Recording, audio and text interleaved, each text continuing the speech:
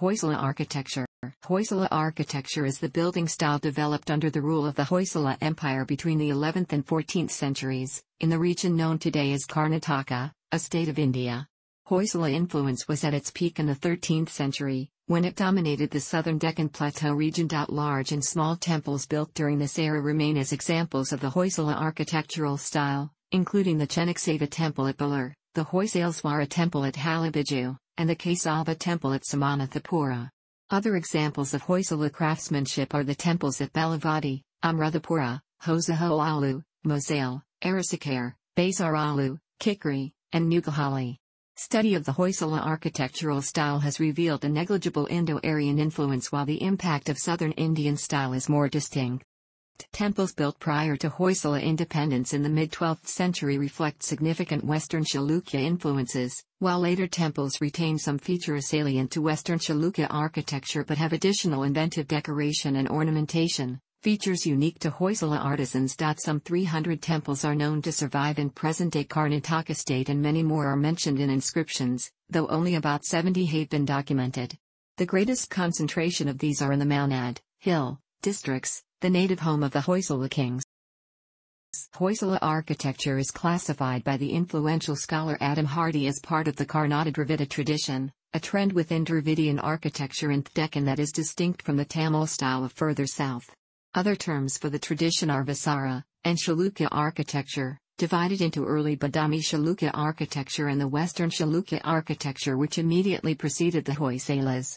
The whole tradition covers a period of about seven centuries began in the 7th century under the patronage of the Chalukya dynasty of Badami, developed further under the Rashtrakutas of Manyakheta during 9th and 10th centuries and the Western Chalukyas, or later Chalukyas, of Basavakalyan in the 11th and 12th centuries. Its final development stage and transformation into an independent style was during the rule of the Hoysalas in the 12th and 13th centuries. Medieval inscriptions displayed prominently at temple locations give information about donations made toward the maintenance of the temple, details of consecration and on occasion, even architectural details. Hinduism is a combination of secular and sacred beliefs, rituals, daily practices and traditions that has evolved over the course of over 2,000 years and embodies complex symbolism combining the natural world with philosophy. Hindu temples began as simple shrines housing a deity and by the time of the Hoysalas had evolved into well-articulated edifices in which worshippers saw transcendence of the daily world. Hoysala temples were not limited to any specific organized tradition of Hinduism and encouraged pilgrims of different Hindu devotional movements. The Hoysalas usually dedicated their temples to Shiva or to Vishnu, two of the popular Hindu gods, but they occasionally built some temples dedicated to the Jain faith as well. Worshippers of Shiva are called Shaivas and worshippers of Vishnu are called Vaishnavas. While King Vishnuvardhana and his descendants were Vaishnava by faith, records show that the Hoysalas maintained religious harmony by building as many temples dedicated to Shiva as they did to Vishnu. Most of these temples have secular features with broad themes depicted in their sculptures. This can be seen in the famous Chennakesava temple at Belur dedicated to Vishnu and in the Hoysaleswara temple at Halebidu dedicated to Shiva. The Kesava temple at Somanathapura is different in that its ornamentation is strictly Vaishnavan. Generally Vaishnava temples are dedicated to Keshava, or to Chennakeshava, meaning beautiful Vishnu, while a small number are dedicated to Lakshmi Narayana and Lakshmi Narasimha, Narayana and Narasimha both being avatars, or physical manifestations, of Vishnu, with Lakshmi, consort of Vishnu, seated at his feet. Temples dedicated to Vishnu are always named after the deity. The Shiva temples have a Shiva Linga, symbol of fertility and the universal symbol of Shiva, in the shrine. The names of Shiva temples can end with the suffix Seshwara meaning Lord of. The name Hoysaleswara, for instance, means Lord of Hoysala. The temple can also be named after the devotee who commissioned construction of the temple, an example being the Buchesvara temple at Koramangala named after the devotee Pusi. The most striking sculptural decorations are the horizontal rows of moldings with detailed relief, and intricately carved images of gods, goddesses and their attendants on the outer temple wall panels. The Doddagaddavalli Lakshmi Devi, goddess of wealth, temple is an exception as it is dedicated to neither Vishnu nor Shiva. The defeat of the Jain Western Ganga dynasty, of present-day South Karnataka, by the Cholas in the early 11th century and the rising numbers of followers of Vaishnava Hinduism and Virashaivism in the 12th century was mirrored by a decreased interest in Jainism. However, Two notable locations of Jain worship in the Hoysala territory were Shravanabelagola and Kambadahalli. The Hoysalas built Jain temples to satisfy the needs of its Jain population, a few of which have survived in Halebidu containing icons of Jain Tirthankaras. They constructed stepped wells called Pushkarni or Kalyani, the ornate tank at Hulikere being an example. The tank has 12 minor shrines containing Hindu deities. The two main deities found in Hoysala temple sculpture are Shiva and Vishnu in their various forms and avatars, incarnations. Shiva is usually shown with four arms holding a trident and a small drum among other emblems that symbolize objects worshipped independently of the divine image with which they are associated. Any male icon portrayed in this way is Shiva although a female icon may sometimes be portrayed with these attributes as Shiva's consort, Parvati. Various depictions of Lord Shiva exist, showing him naked, fully or partially, in action such as slaying a demon, Andhaka, or dancing on the head of a slain elephant, Gajasura, and holding its skin up behind his back. He is often accompanied by his consort Parvati or shown with Nandi the bull. He may be represented as Bhairava, another of Shiva's many manifestations. A male figure depicted holding certain objects such as a conch, symbol of eternal, heavenly space, and a wheel, eternal time and destructive power, is Vishnu. If a female figure is depicted holding these objects, she is seen as his consort, Lakshmi. In all the depictions Vishnu is holding four objects, a conch, a wheel, a lotus and a kaumodaki, mace. These can be held in any of the icon's hands, making possible 24 different forms of Vishnu, each with a unique name. Apart from these, Vishnu is depicted in any of his ten avatars, which include Vishnu sitting on Ananta, the celestial snake and keeper of life energy also known as Shesha, Vishnu with Lakshmi seated on his lap, Lakshmi Narayana, with the head of a lion disemboweling a demon on his lap, Lakshmi Narasimha, with head of a boar walking over a demon, Varaha, in the Krishna avatar, as Venugopala or the cowherder playing the Venu, flute, dancing on the head of the snake Kaliya, lifting a hill such as Govardhana, with his feet over head of a small figure, Vamana, along with Indra riding an elephant, with Lakshmi seated on Garuda, and the eagle, stealing the Parijata tree. The focus of a temple is the center or sanctum sanctorum, Garbhagriha, where the image of the deity resides, so temple architecture is designed to move the devotee from outside to the garbhagriha through ambulatory passageways for circumambulation and halls or chambers, mantapas, that become increasingly sacred as the deity is approached. Hoysala temples have distinct parts that are merged to form a unified organic whole, in contrast to the temples of Tamil country where different parts of a temple stand independently. Although superficially unique, Hoysala temples resemble each other structurally. They are characterized by a complex profusion of sculpture decorating all the temple parts chiseled of soft soapstone, chloritic schist, a good material for intricate carving, executed mostly by local craftsmen, and exhibit architectural features that distinguish them from other temple architectures of South India. Most Hoysala temples have a plain covered entrance porch supported by lathe-turned, circular or bell-shaped, pillars which were sometimes further carved with deep fluting and molded with decorative motifs. The temples may be built upon a platform raised by about a meter called a jagati. The jagati, apart from giving the raised look to the temple, serves as a pradakshinapath or circumambulation path for circumambulation around the temple, as the Garbhagriha, inner sanctum, provides no such feature. Such temples will have an additional set of steps leading to an open mantapa, open hall, with parapet walls. A good example of this style is the case of a temple at Somanathapura. The Jagati which is in unity with the rest of the temple follows a star-shaped design and the walls of the temple follow a zigzag pattern, a Hoysala innovation. Devotees can first complete a ritual circumambulation on the Jagati starting from the main entrance by walking in a clockwise direction, towards the left before entering the Mantapa, following the sculptural clockwise sequenced reliefs on the outer temple walls depicting a sequence of epic scenes from the Hindu epics.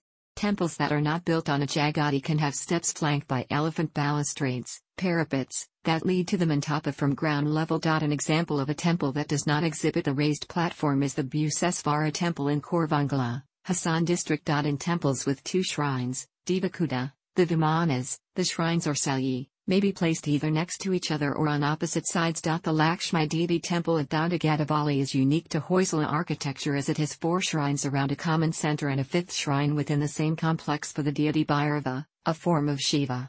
In addition, four minor shrines exist at each corner of the courtyard, prakaram. The mantapa is the hall where groups of people gather during prayers. The entrance to the mantapa normally has a highly ornate overhead lintel called a makara is an imaginary beast and Torana is an overhead decoration. The open mantapa which serves the purpose of an outer hall outer mantapa, is a regular feature in larger Hoysala temples leading to an inner small closed mantapa and the shrine apostrophe s. The open mantapas which are often spacious have seating areas, asana, made of stone with the mantapa's parapet wall acting as a backrest. The seats may follow the same staggered square shape of the parapet wall. The ceiling here is supported by numerous pillars that create many bays. The shape of the open mantapa is best described as staggered square and is the style used in most Hoysala temples. Even the smallest open mantapa has 13 bays. The walls have parapets that have half pillars supporting the outer ends of the roof which allow plenty of light making all the sculptural details visible.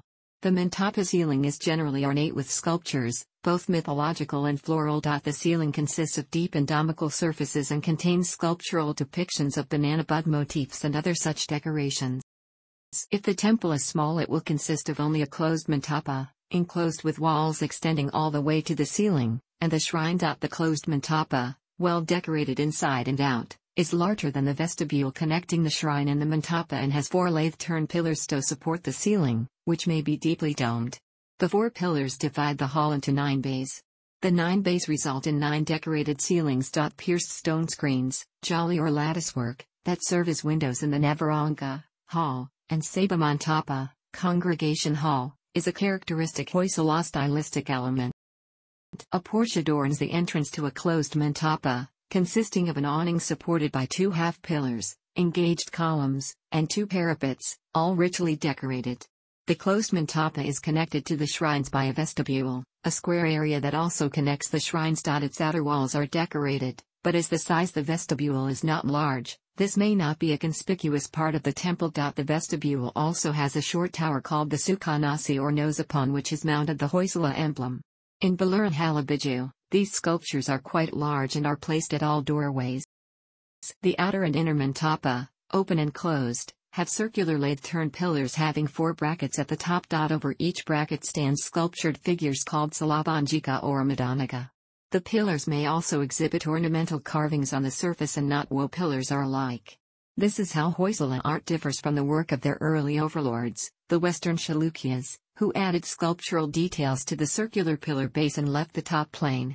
The lathe-turned pillars are 16, 32, or 64 pointed, some are bell-shaped and have properties that reflect light. The Parsvanatha Basadi at Halebidu is a good example. According to Brown, the pillars with four monolithic brackets above them carry images of Salabanjikas and Madanikas, sculpture of a woman, displaying stylized feminine features. This is a common feature of Chalukya Hoysala temple temples. According to Sastry, the shape of the pillar in its capital, the base of which is square and whose shaft is a monolith that is lathe-turned to render different shapes, is a remarkable feature of Hoysala art. The Vimana, also called the Cella, contains the most sacred shrine wherein resides the image of the presiding deity. The Vimana is often topped by a tower which is quite different on the outside than on the inside. Inside, the Vimana is plain and square, whereas outside it is profusely decorated and can be either stellate, star-shaped, or shaped as a staggered square, or feature a combination of these designs, giving it many projections and recesses that seem to multiply as the light falls on it. Each projection and recess has a complete decorative articulation that is rhythmic and repetitive and composed of blocks and moldings, obscuring the tower profile. Depending on the number of shrines, and hence on the number of towers, the temples are classified as Ekakuta, 1, Devakuta, 2, Trikuta, 3, Chatushkuta, 4, and Panchakuta, 5.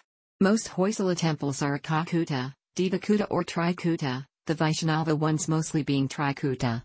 There are cases where a temple is Trikuta but has only one tower over the main shrine, in the middle. So the terminology Trikuta may not be literally accurate. In temples with multiple disconnected shrines, such as the twin temples at Mosale, all essential parts are duplicated for symmetry and balance. The highest point of the temple, Kalasa, has the shape of a water pot and stands on top of the tower. This portion of the Vimana is often lost due to age and has been replaced with a metallic pinnacle. Below the Kalasa is a large, highly sculptured structure resembling a dome which is made from large stones and looks like a helmet. It may be 2 meters by 2 meters in size and follows the shape of the shrine. Below the structure are domed roofs in a square plan, all of them much smaller and crowned with small colossus. They are mixed with other small roofs of different shapes and are ornately decorated. The tower of the shrine usually has three or four tiers of rows of decorative roofs while the tower on top of the Sukanasi has one less tier, making the tower look like an extension of the main tower, Foekema calls it the nose. One decorated roof tier runs on top of the wall of a closed mantapa above the heavy eaves of an open mantapa and above the porches.